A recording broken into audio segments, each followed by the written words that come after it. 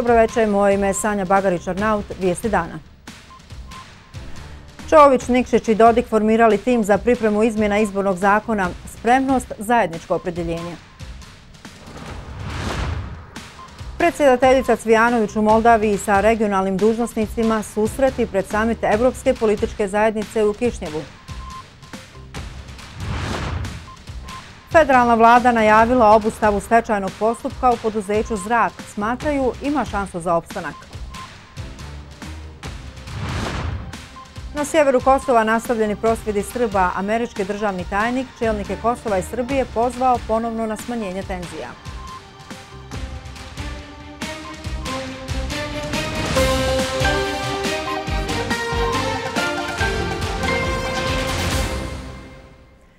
Intenzivno će se raditi na pripremi nacrta izmjene izbornog zakona kako bi se stvorio prihvatljiviji ambijent učinkovitije funkcioniranja izvršne i zakonodavne vlasti kako na razini Bosne i Hercegovine, tako i u Federaciji Bosne i Hercegovine, dominantno između odnosa SDP-a i HDZ-a.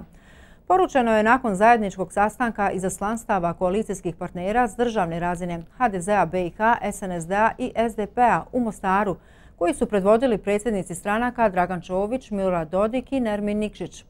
Zajedničko opredeljenje im je spremnost. Nakon sastanka Čović Dodik Nikšić u Mostaru istaknuto je zadovoljstvo intenzitetom rada koalicijskih partnera na državnoj razini i u radu Vijeća ministara BiH. Dogovorena je po jedna osoba iz svake stranke koja će pripremiti plan za izmjenu izbornog zakona. Primarno da dogovorimo koncept, način rada, da odredimo ljude koji će na tome raditi, moguće da će prvi dio biti u tom izbornom zakonu da dotakne možda i oko izbornog povjerenstva, ono, onih mehanizama da osiguraju provođenje izbora, ali svakako i sve druge teme koje trebamo kroz izborni zakon riješiti, jer je naša obaveza šest mjeseci nakon uspostave vlasti to završiti. Tako da je gospodin Dizdar stavljen ispred SDP-a, gospodin Nović ispred SNSD-a, gospođa Filipović ispred HDZ-a. Govorilo se i o drugim aktualnim temama, ključnim strateškim projektima, izgradnje istočne i južne interkonekcije, izgradnje autoceste da se vežu zajedno, kao i da se s čitavim paketom mjera prema Europskoj uniji ide istovremeno. Svakako da nam predstoji e, dalje e, nastavak na ovom putu reformi i kad je Bosna i Hercegovina u pitanju i naših odnosa u Federaciji Bosne i Hercegovine, ali kako to i reče i gospodin Čović, mislim da smo na dobrom putu, da postoji jedna fina i energija i sinergija i da će se to u ovom razdoblju pred nama nastaviti. Potpuno drugčije od ono što smo imali u prošlom vremenu, kada je iz Sarajeva bio SDA i kojima nikada nismo imali koordinaciju, nego smo imali svaki dan očekivanja kad ćemo dobiti neki da ne kažem udarac, a onda se uzvraćalo i na taj način funkcionisalo. Danas stavimo na dnevni red neka pitanja, ta pitanja vidimo kako možemo da riješimo. Čelnik SNSD-a je najavio da će zajednička sjednica vlada Republike Srpske i Federacije BiH biti održana u četvrtak 8. lipnja i da će na dnevnom redu biti zajednička pitanja. Također je kazao kako je planirano da idući sastanak stranačkih delegacija, koji će se održavati svaki mjesec, biti održan u Sarajevu, te da će domaćin biti bošnjačka strana. Pokret demokratske akcije predložio je Arnela Isaka za novog potpredsjedatelja Zastupničkog doma parlamenta Federacije BiH umjesto članice stranke za BiH Edine Gabele. U obrazloženju klub PDA je naveo kako se trenutačno u rukovodstvu Zastupničkog doma ne nalazi nitko iz reda Bošnjaka i kako vođeni demokratskim načelima predlažu da Edina Gabela iz reda ostalih bude razriješena. U životopisu Arnela Isaka navodi se kako je rođen 1996. godine i da je po nacionalnosti Bošnjak. Podsjetimo od imenovanja vlade Federacije BiH, federalni parlament nije održao ni jednu sjednicu. Predsjedateljica predsjedništva Bosne i Hercegovine Željka Cvijanović razgovarala je u Kišnjevu sa predsjednicima Srbije i Grčke kao i predsjednicima vlada Sjeverne Makedonije i Albanije uoči samita Evropske političke zajednice u Kišnjevu. Cvijanovićeva se susrela i sa premijerom Mađarske, sa premijerom Mađarske Viktorom Orbanom. U Moldaviji je počeo drugi samit Evropske političke zajednice tijekom kojeg će biti riječi o miru, sigurnosti i energetici.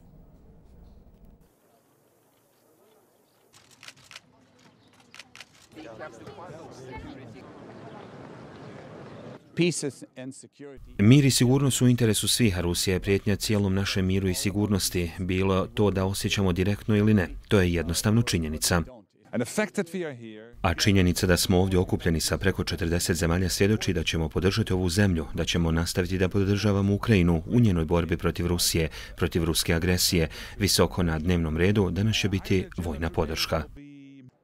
Unatoč činjenici da su i na ovom samitu lideri koji okreću glave jedni od drugih ili pak oni koji potkopavaju politiku Evropske unije, poruka većine je jedinstvo i globalna sigurnost. Predsjedavajuća predsjedništva Bosne i Hercegovine Željka Cvijanović među liderima je i učestvuje na drugom samitu Evropske političke zajednice u Kišnjevu u Moldavi.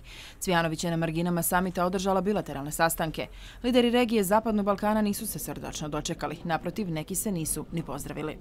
Es ganz wichtig, dass wir Uvijek smo govorili da moraju postojati garancije za mirovni poredak, a Njemačka će dati svoj doprinos. Kako to konkretno izgleda je nešto o čemu ćemo morati razgovarati i o tome smo razgovarali i ranije veoma dugo.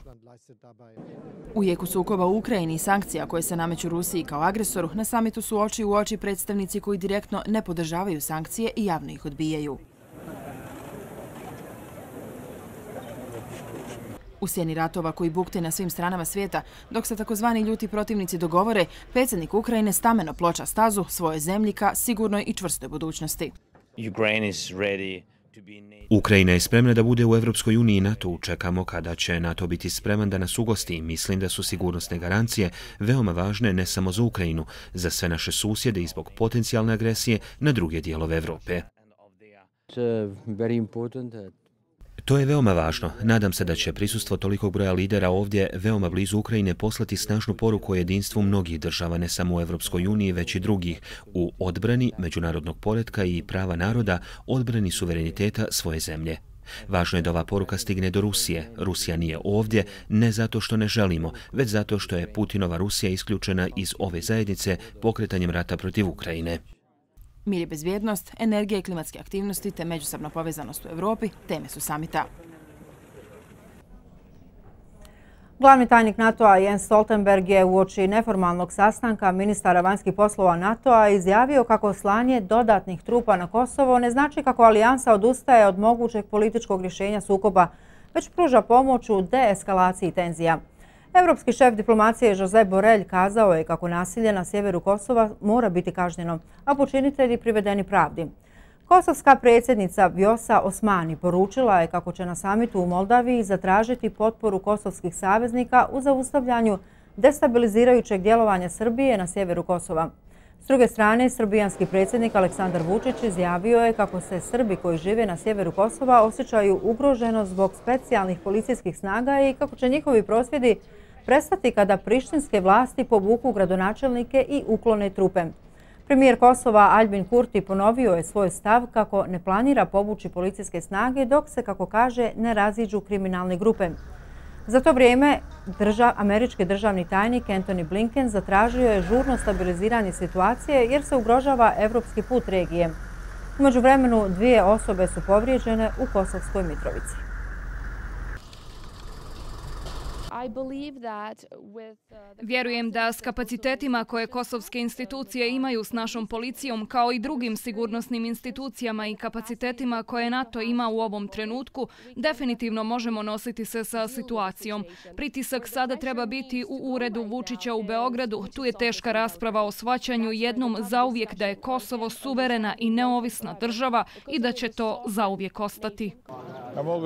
Uvijek budem previše optimističan što sada nisam, ali jamčim jedno. Srbija će dati sve od sebe da deeskalira situaciju, što znači da ćemo pokušati. Pokušati ćemo nagovoriti Srbe da prosjeduju mirno. Naravno da su vrlo odlučni. Raportet, Danas smo u teškoj situaciji zbog oružanih grupacija koje tvrde da su demonstranti, a u stvari su kriminalne grupe. Naravno da mogu da uzmem u obzir smanjenje policije u zgradama opština kad se ove kriminalne grupe desnog ekstremističkog nacionalizma i šovinizma koji se dive Slobodanu Miloševiću i Vladimiru Putinu pošalju ili u Srbiju ili u zatvor. Nema šanse da ne zaštitimo republičku imovinu i zgrade od ovakvih bandi. Kada odu ili protesti završe, smanjit ćemo broj policajaca. NATO je održao sastanak ministara vanjskih poslova zemalja članica te odmah pojačao pritisak na Tursku kako bi odustala od prigovora na članstvo Švedske jer se alijansa nastoji pozabaviti tim pitanjem do sastanka američkog predsjednika Joe Bidena i njegovih kolega sljedećeg mjeseca. Inače je članstvo Švedske prvi naredni korak koji alijansa želi završiti. Savez je također fokusiran na jačanje statusa Ukrajine koja nije članica u alijansi i priprema okvir za sigurnosne obveze koje može ponuditi kada se rad s Rusijom završi. Uh, Danas smo imali vrlo produktivnu diskusiju o pripremi za summit NATO-a u Vilnuisu, koji će se održati sljedećeg mjeseca. Fokusirali smo se na unapređenje naše nepokolebljive podrške Ukrajini, suočenoj sa brutalnom agresijom Rusije.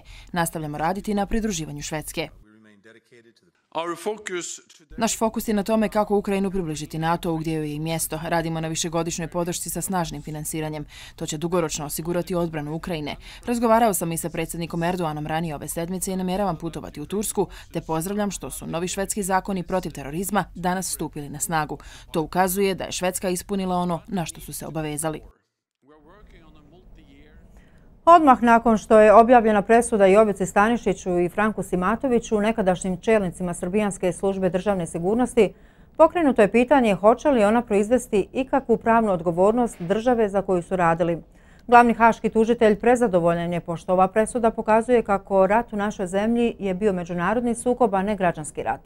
Ipak stručnjaci za Haški tribunal ne vide razlog Bramecove euforije, pošto u sažetku presude međunarodni oružani sukob nije pomenut, a možda nije ni u njenom integralnom tekstu. Pošto ovaj dvojac nije optužen za genocid, nemoguće je Srbiju ponovno tužiti bez obzira na to šta piše u presudi. U Bosni i Hercegovini nije bio građanski rat, bio je međunarodni sukob. Veliko je postignuće tužilaštva dokazivanje činjenice da su Jovica Stanišić i Franko Simatović srbijanski rukovodioci jedne vrlo važne institucije kakva je služba državne sigurnosti bili umješani u udruženi zločinački poduhvat. Ovu za našu zemlju jako važnu presudu stručnjaci nazivaju i historijskom. Iako je BiH dočekala ovu konačnu presudu, umeđu vremenu izgubila je šansu za reviziju tužbe protiv Srbije, a zbog čega pojasnili su nam advokati Vasvija Vidović iz Sarajeva i Sead Spahović iz Beograda. Sumnjam da bi Međunarodni sud ponovo otvarao to isto pitanje. Mislim da bi bila nova tužba odbačena s obzirom na to da je već korišten pravni lijek. E sad, što se tiče e, uslova za podnošenje nekog drugog pravnog lijeka, ponovne revizije, svi su ti rokovi istekli deset godina je uh, bio rok u kome smo mi mogli uložiti neke nove dokaze, tražiti ponavljanje postupka povodom revizije. Bosna nema pravo na reviziju jer je rok od deset godina prekluzivan. Prema tome ona presuda Međunarodnog suda pravde koja je doneta ne može se sada revidirati jer je protekao rok. Bez ovo što postoje nove činjenice i novi dokazi koji bi inače da je to urađeno u roku od 10 godina možda mogli da izazovu ponavljanje postupka. Dok je prošao rok za reviziju tužbe protiv Srbije, profesor Kasim Trnka smatra da ima dovoljno osnova da se pokrene pitanje hoće li Srbija isplatiti BiH ratnu odštetu.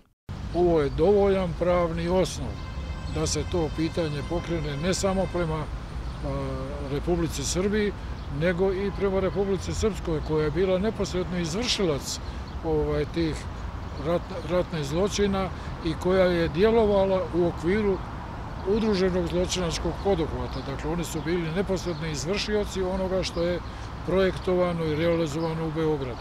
Dakle, postoji pravni osnov, ali sigurno to neće biti nimalo jednostavna pravna bitka, ali ima izgleda na uspjeh. Konačna presuda Jovici Stanišiću i Franku Simatoviću pravno gledano stvar je poredala na pravo mjesto, data je jedna zaokružena sudska slika. Već su se oglasili i brojni političari u Bosni i Hercegovini koji su pozvali Srbiju da se javno odrekne UZP politike i prema BiH plati ratnu odštetu. Ono što bi trebalo uslijediti stava su sagovornici je da se oformi jedan veoma stručan pravni tim koji će se pozabaviti daljim koracima Bosne i Hercegovine nakon ove presude presude. Član predsjedništva Bosne i Hercegovine Denis Bečirović primio je radnu grupu za regiju Zapadnog Balkana u okviru Vijeća Evropske unije. Na sastanku su razmijenjena mišljenja i stavovi o stanju i prilikama u Bosni i Hercegovini i Europi. Bečirović je upoznao članove izaslanstva o vrlo jasnim strateškim vanjsko-političkim ciljevima Bosne i Hercegovine, a to su punopravna članstva u Evropskoj uniji i NATO-u i dobra regionalna suradnja. Ovi strateški ciljevi su usvojeni jednoglasno u državnim institucijama Bosne i Hercegovine, kazao je Bečirović.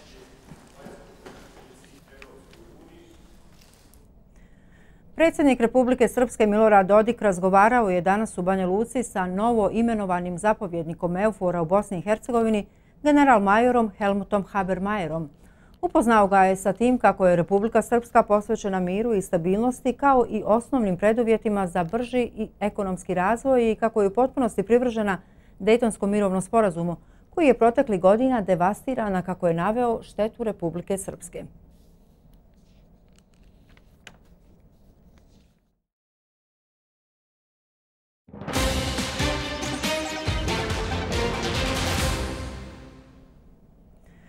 Vijeće ministara Bosne i Hercegovine je na prijedlog Ministarstva financija i trezora usvojilo program javnih investicija za razdoblje od 2023. do 2025. godine kao potporu u planiranju i donošenju kvalitetnijih investicijskih odluka.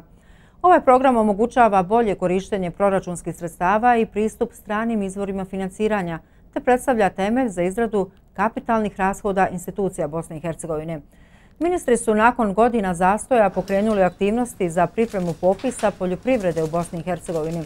Na ovaj način su pokrenute aktivnosti u pravcu ispunjavanja prioriteta i sporazuma o evropskom partnerstvu.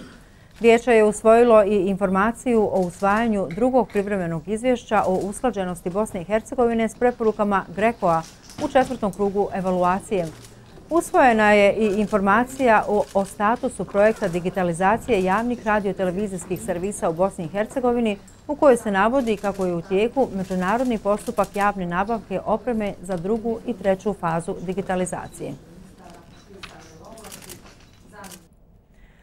Pripadnici Federalne uprave policije prema naredbi kantonalnog suda Sarajevo pretresli su prostorije općine Stari grad Sarajevo, priopćilo je tužiteljstvo kantona. Riječ o nastavku akcije Start u kojoj je u Svibnju uhičen načelnik te općine Ibrahim Hadžibajrić. Još nema zvanične potvrde pravosudnih institucija, ali agencije prenose kako su na meti istražitelja pomoćnici uhičenog Hadžibajrića, te kako su četiri osobe privedene. Posjećamo u akciji Start se istražuje niz kaznenih dijela, uključujući organizirani kriminal, zlouporabu položaja, primanje i davanje dara i pranje novca, a usumničeni su razotkriveni zahvaljujući Sky aplikaciji.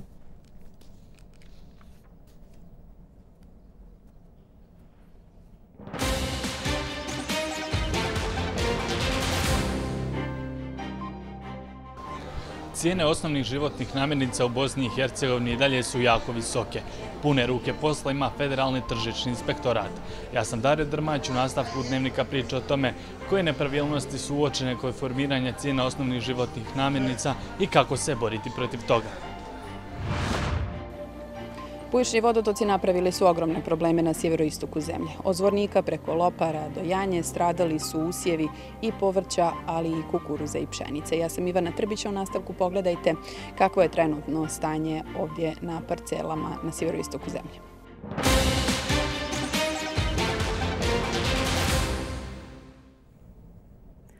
U memorialnom kompleksu i šehijskom mezarju Gornja Kalesija klanjana je 25. kolektivna dženaza i obavljen ukop četiri žrtve ubijene na području općine Zvornik u razdoblju od 1992. do 1995. godine. Najmlađa danas ukopana žrtva je imala 21 godinu. Izet Manjić, rođen 1971. godine u Kamenici, najmlađa je danas ukopana žrtva. Vječiti smiraj pronašla je i Sadika Hrbatović, koja je u trenutku smrti imala tek 23 godine, a dio posmrtnih ostataka pronađen je prije skoro dvije decenije. 1992. godine se to desilo kad je to krenuo taj konvoj od ozu naš zato tužbu, eto ona je tad nastradila, imala sasvom sina, maloga, imao tri godine, ja mislim. I ona je poginula, eto sina i umni snaha ponova vratila gori nama. Besim Hasanović je ukopao zeta Senada Sulejmanovića koji je ubijen 1993. godine. Prelasku sa mnom zajedno kad sam ja ranjen i on poginuo i otac mi poginuo taj dan. Ja sam prešao, ali eto, oni nisu imali sreće, znači, ovo sve moramo nastaviti dalje ovo mi je najteži. Oca još nisam našao. Zvali sam je 2014. I jedan je dio tijela taj bio pronađen i ajde ako bit će koja još kost, nisam prihvatila i sad su me opet pozvali isto, rekao, nema veze i ja sam rekao bolest, samo ne ima nigdje nikoga svoga. Posmrtni ostaci ovih žrtava su pronađeni u masovnim grobnicama Kamenica, Križevačke njive i Snagovo. Do danas je obavljena identifikacija 1114 tijela ubijenih zvorničana, a na ovom mezarju sahranjeni su posmrtni ostaci 792 žrtve. Porodice su ogorčene na rad nadležnih institucija kada je riječ o procesuiranju odgovornih. Pitao sam i tužioce i sve ostalo. Ako vama nije masovna grobnica, dokaz o počinjenju zločinu, šta vam onda drugo može biti? Zvanična evidencija žrtava zločina Jugoslovenske narodne armije i srpske vojske govori da je samo na području Zvornika ubijeno više od 2000 civila, navode iz udruženja. Na području općine Sapna i Kalesija je danas dan žalosti.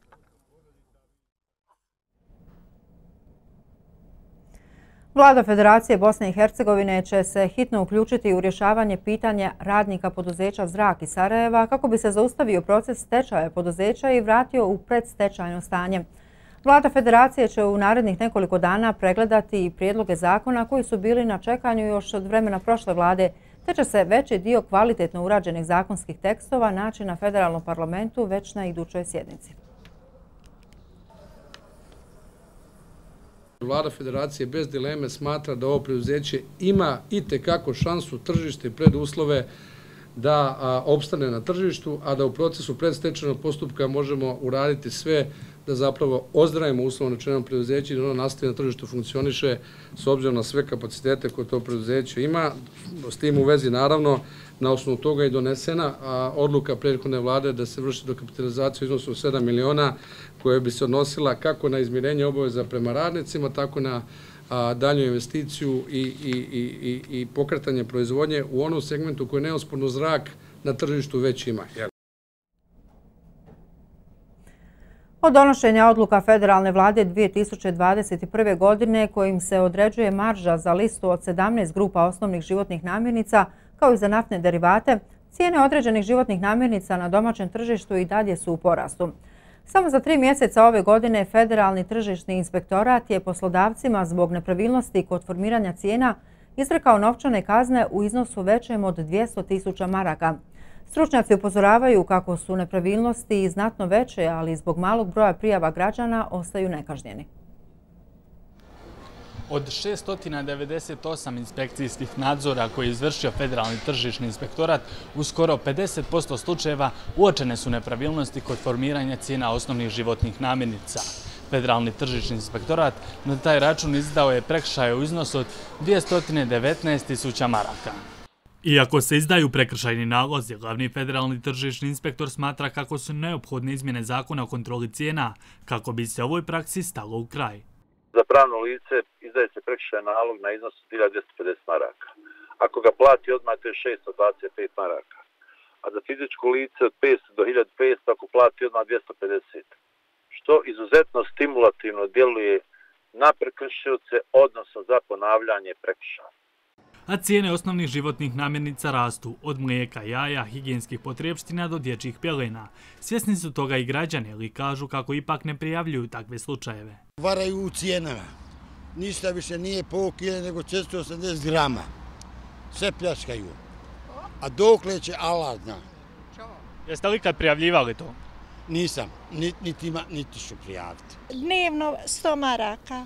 Ne može biti. Dnevno. Ako će ono čovjek da os, ono normalno sebi priušti. Jeste li kad prijavili inspekcije neke namirnice koje su poskupjele? Nisam nikad. Jednostavno, prostiren sam oliko koliko sam dugi i to, to je to. Na to upozoravaju i udrugama potrošača. Smatraju kako se potrošači moraju bolje upoznati sa pravima koja imaju. Potrošač je zaštićen onoliko koliko želi da bude informisan ukoliko želi da zaštiti svoje prava, znači potrebno je da se obrate odmah na licu mjesta trgovcu, a u slučaju ako su mu zaračunate veće cijene i to je primijetio nakon kupovine kada je odšao kući, kada se vrati u trgovinu, treba da pozove inspekcijske organe i onda će mu biti vraćeni njegov novac. Zbog toga i tržišni inspektorati, ali i udruge koje se bave zaštitom potrošača, apeliraju da se svaki vid zlouporabe prijavi anonimnim pozivima kako bi se ograničio rast cijena, a samim tim i zaštitili potrošači. Vlada Republike Srpske usvojila je informaciju o stanju sigurnosti sa prijedlogom programa mjera za jačanje sigurnosti i sprečavanje nasilja u osnovnim i srednjim školama i džačkim domovima. Vlada je zadužila Ministarstvo prosvjete i kulture da dodatno djeluje u pravcu stvaranja stimulativnog i sigurnog okruženja za svu djecu, te da u suradnji sa jedinicama lokalne samouprave provodi aktivnosti na poboljšanju materijalno-tehničkih uvjeta u školama i džačkim domovima, sukladno usvojenim programom mjera.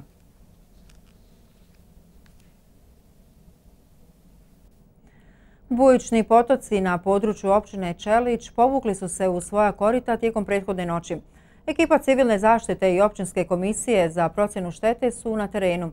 I u drugim mjestima situacija se stabilizira, međutim, meteorolozi nemaju dobre vijesti. Federalni hidrometeorološki zavod izdao je upozorenje za jake pljuskove u sjevernim, središnjim i istočnim područjima Bosne i Hercegovine. Uz jače pljuskove lokalno može pasti od 20 do 50 litara kiše po metru četvornom. Preporučuje se osobna kao i zaštita imovine te upozorava na plavljenje imovine i prometnih mreža. Obilne padaline prethodnih dana napravile su probleme na sjevoroistoku zemlje. U Zvorniku, Loparama i dijelovima Semberije bujični vodotoci izlili su se iz korita i poplavili domaćinstva, ali i usjeve. Poljoprivredni proizvođači kažu da je sezona već izgubljena. Treći put za godinu dana Nasir Karjašević iz Semberskog sela Janja ostao je bez plodova svog rada. Zasade, povrće i pšenice uništili su bujični vodotoci. Pod vodom je sav luk i krompir. I šenca tamo bila i dva plastenika, sve su pod vodom.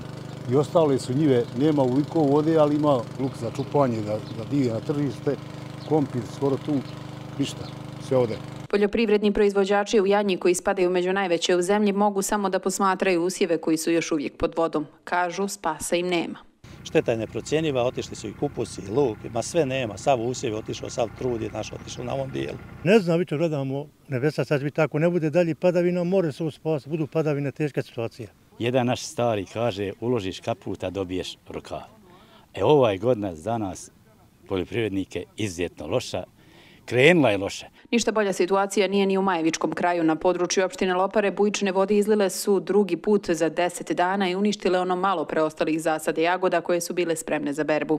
Nažalost, ponovilo se i e, doživili smo ono što smo najmanje očekivali. Da će se ponoviti tragedija u roku od dvije sedmice, možda sad i veća i gora, pogotovo posle one prve da su ljudi nešto malo i očistili, sanirali, ali kad je sad drugi talas naišao da je to sve sravnije. Voda je napravila probleme i u Zvorniku, gdje je 20 domaćinstava poplavljeno. Najgore je u Čelopeku, Tršiću, ulicama i Branjevu.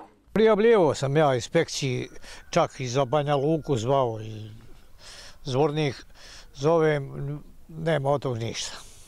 Niko ne, ne, ne dolazi, ovi su dolazili ovdje donekle, malo vide samo i iz ove civilne zaštite. Nije niko došao da vidi. Nama je neminovno raditi prokop kanala. Ja dajem ovaj, bez naknade ikakve e, svoj dio zemljišta da bih prokopali kanal. Svi oni krive nadležni ističući da je neodržavanje i neuređenje kanalske mreže uzelo svoj danak. Rijeke Drina, Sava, Hoča i Sapna mogle su primiti svu vodu u kojoj je sada potopljen sav njihov trud.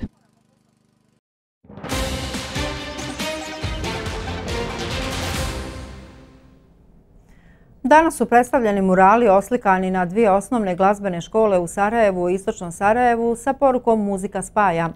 Murali su predstavljeni u sklopu istoimene kampanje čiji je cilj jačanje društvene kohezije i izgradnja otpornosti građana na nacionalističku retoriku i političke podjele. Identični murali oslikani na dvije škole simbolizuju zajedničke vrijednosti, izgradnju povjerenja i povezivanja različitih grupa i naroda kroz kulturu i umjetnost. Autorica ilustracije je Aleksandra Nina Knežević. Trudimo se da gradimo ponovo mostove i neku vrstu realnog, stvarnog, zajedničkog života kakav bi trebao da postoji ovdje kod nas. Jel? I smatramo da je umjetnost veliki alat za uspostavljanje jednog takvog lijepog života. U ovom slučaju oslikavamo instrumente, odnosno koristimo, a vizuelno predstavljamo muziku koja zapravo nas sve spaja. Umjetnica je super pogodila dakle, sa, sa, sa, sa motivima i, i, i lagano se čita mural. Jel? Ono, jasno nam je da su, da su prikazani neki, do duše, malo abstraktni instrumenti, ali opet instrumenti što je u skladu sa, sa, sa osnovnom muzičkom školom. Kada je pokrenuta ideja oslikavanja murala na muzičkim školama u Sarajevu i Istočnom Sarajevu prije godinu dana, rado je prihvaćena u obje škole. Obje direktorice su e, na sam pomen ideje automatski pristale, ne samo da su pristale, to je malo reći, nego su svesredno podržale, razumijele da je to doprinos e, jednoj ideji da se promovišu zajedničke vrijednosti djece koji pohađaju ove škole, njihovih profesora, na kraju i roditelja čija djeca pohađaju škole, ali i šire zajednice e, oba grada i cijele Bosne i Hercegovine. Događaj je organizovan na dvije lokacije ispred škole za osnovno muzičko obrazovanje u Istočnom Novom Sarajevu i osnovne muzičke škole u Novom Sarajevu gdje je upriličen zajednički nastup učenika dvije muzičke škole. I toliko u dnevniku. U nastavku slijede vijesti iz sporta kroz koje će vas voditi kolega Zoran Šuko. Ugodno večer.